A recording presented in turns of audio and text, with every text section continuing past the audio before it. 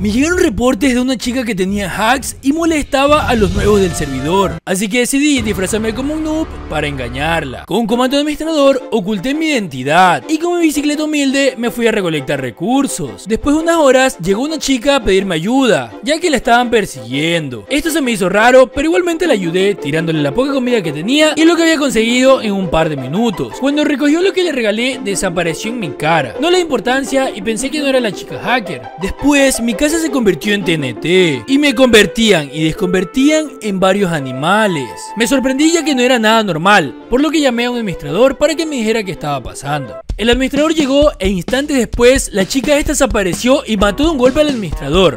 Y después explotó mi casa. La congelé para encerrarla en una cárcel donde no se podía escapar. Pero ella simplemente usó hacks y escapó. Así que mejor por cada like que des estará baneada una hora más.